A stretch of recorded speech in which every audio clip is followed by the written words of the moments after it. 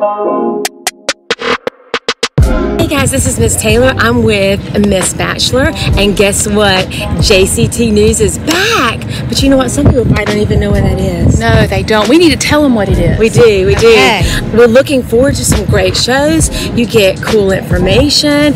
We will be interviewing you to find out all about things that you do in your classroom. We're also going to tell you some things about your teachers. We're going to interview them. Yeah. And when you see us around the school, seeing us maybe taking pictures or something like that, don't even ask us what it's about because you know you'll see yourself on JCT News. So just turn around and smile and be yourself.